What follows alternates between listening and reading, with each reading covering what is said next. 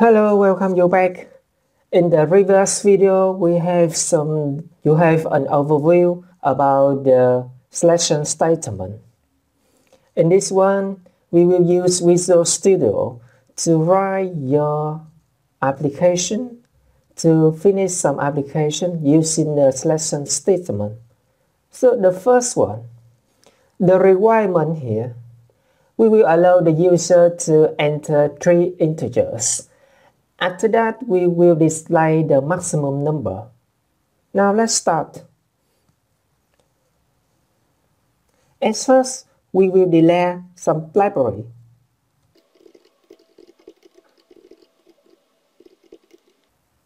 And we start the main function. Here we will declare three variables A, B, and C. The task is we find the maximum number. So here we need to declare some variables. We declare the max 1 and the variable max. And after that, we allow the user to enter the value of A, B, and C. So we use the ring and scan function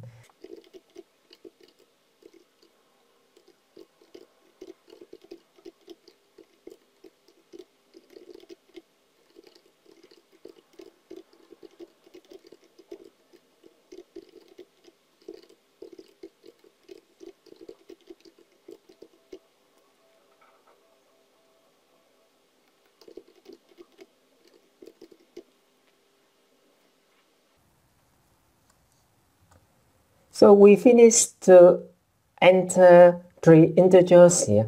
And next, we will find the max value of A and B. And we call that E max 1.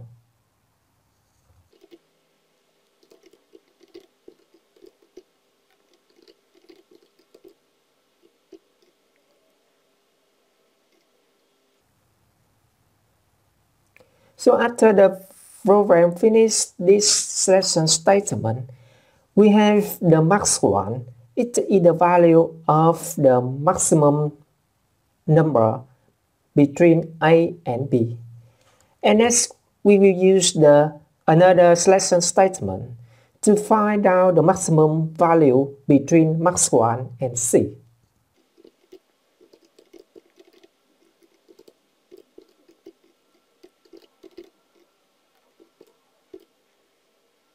After finishing the second selection statement, the program will find the maximum value and this equals the max here. After that, we will print the value, the result on the screen. We use the print function. And the get function will help you to have the time to observe the result. So here we finish the task. So next, we will run the program and check the result.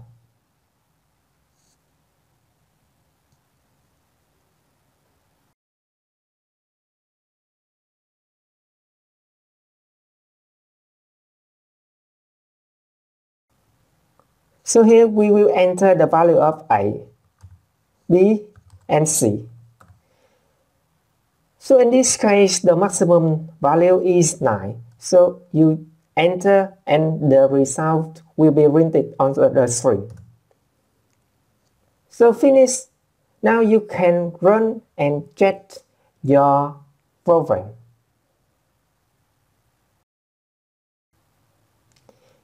Thank you for watching.